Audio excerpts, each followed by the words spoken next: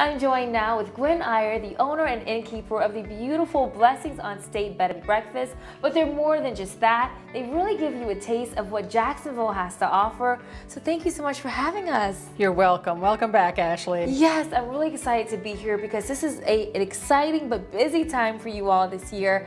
So for those who have never had a chance to come out and experience all that Blessings on State has to offer, tell us what guests are in store for. You know, we're located in Jacksonville, Illinois, which is a wonderful historic city.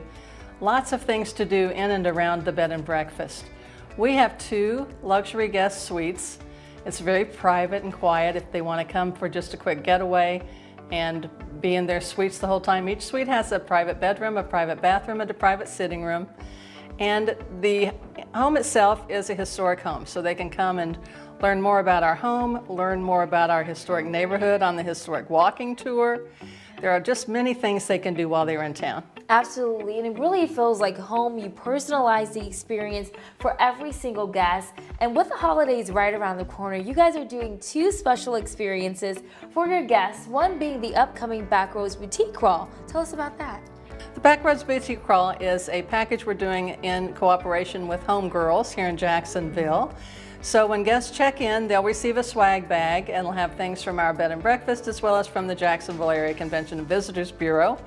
And they'll also receive early entry to shop Saturday morning at Homegirls, as well as a special discount that Julia is offering only to our guests. You really can't beat that. An opportunity to shop local and enjoy a great night's stay here at the bed and breakfast.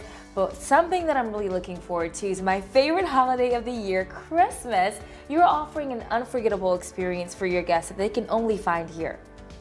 Well, you've been here at Christmas time, so you know we decorate for every season and we have mm-hmm. many Christmas trees.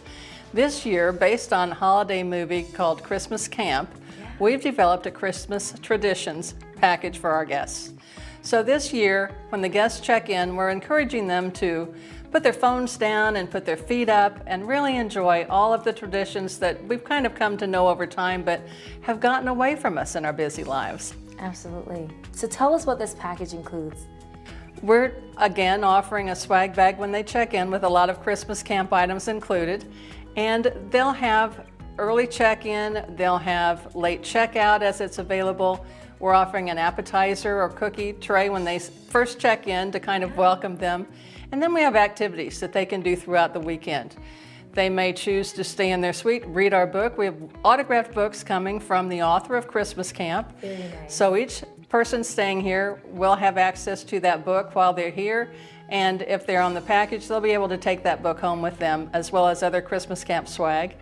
When they stay here, we'll offer things like cookie decorating, caroling around the piano in the front parlor, just different things that they can do to really bring back what Christmas is about in, in their lives when it's not quite so busy. When this seems like the perfect package for a couple looking to get away, your girlfriends, or your family looking to create your own personal Christmas traditions, this is the perfect place to be. And we're very happy to share our blessings traditions with our guests that come in.